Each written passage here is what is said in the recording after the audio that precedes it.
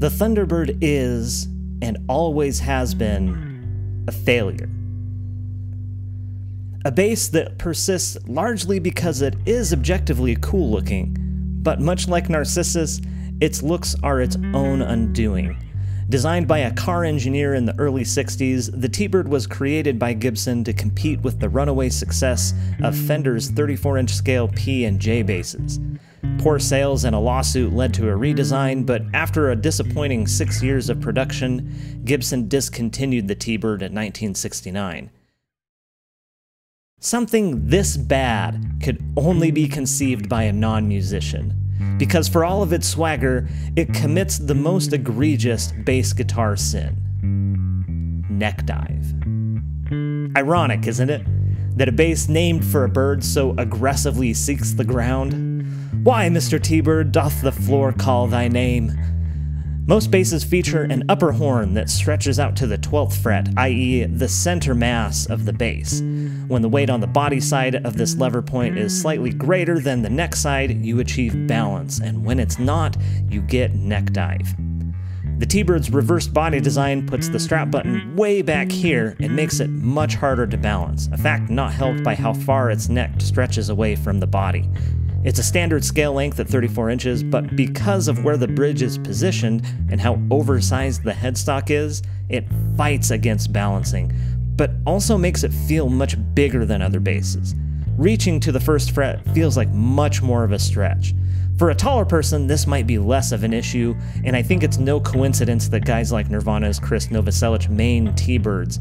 But for average and shorter guys like me, this extra length is an aggravation and makes playing way more difficult. Opposite the oversized headstock, we have the infamous three point bridge. It would be just fine if you'd never had to adjust it, but in our reality, physics exists, so adjustments have to be made from time to time. Neither string height nor intonation are as easy to dial in on this as it is on Fender style bridges, as its design puts adjustment screws in places where they're blocked by pickups and strings, and doesn't allow for individual string height. The entire bridge has to be adjusted as a whole, which makes every adjustment a compromise. Oh, right. Never mind. Hold on. This bridge design drives me insane. Additionally, these bridges are somewhat prone to pulling out of the body entirely. It's pretty telling that on Gibson's higher end signature T-Birds, they use Hipshot bridges instead. No professional wants to deal with this objectively inferior bridge design, and neither should you. If you're wondering if this bass has a single redeeming quality, the answer is yes. But it has only one the tone.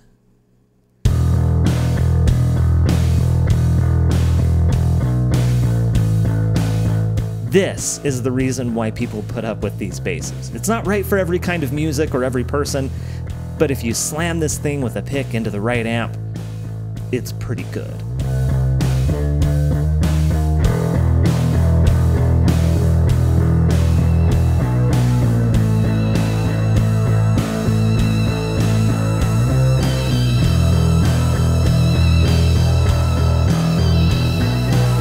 Oh my gosh, all these criticisms are so stupid. You can move the strap button to fix the neck dive, and then you can put whatever bridge you want on. You people, you just like to complain. You're not wrong about being able to fix these kinds of issues, but why would I work that hard for what I consider to be a pretty niche sound, especially when there are alternatives that don't require all that extra work to be good? The pros and cons of this bass are just out of balance. As someone who highly values ergonomics and versatility, I just can't get along with this thing, and so I must sell it. In fact, I'm going to be getting rid of a lot of gear here pretty soon, so if you want to go through all of that with me, join me on my next video where I'm going to Marie Kondo this bitch.